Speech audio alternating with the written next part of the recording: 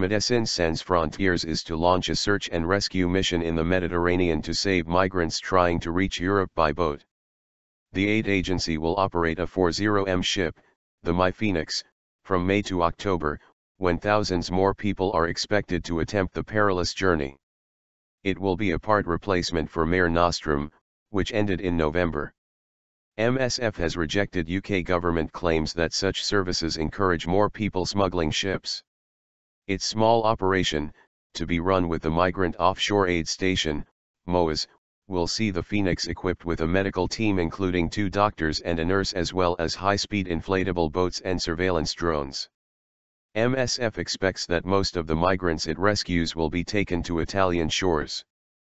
The Italian Navy's search and rescue mission, Mare Nostrum, was abandoned last year after some EU members said they could not afford to fund it.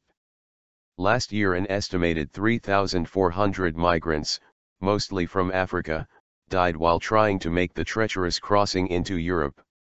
MSF says the death toll is likely to be even higher this year as there is less assistance available to boats in distress, while thousands of people continue to flee conflicts in the Middle East and Africa. Arjan Hehenkamp, MSF's general director, told the BBC the situation was dire. Europe has turned its back on people fleeing some of the worst humanitarian crises of our time. Ignoring this situation will not make it go away. The Migrant Offshore Aid Station was set up by a Maltese family, the Catrambones, who have spent millions of euros to save migrants in danger of drowning at sea. They say their 60-day mission, using the Phoenix, helped to save around 3,000 people in 2014 the decision to end Mare Nostrum sparked warnings that it would lead to more deaths. But other European countries, including the UK, said a rescue service could encourage more migrants.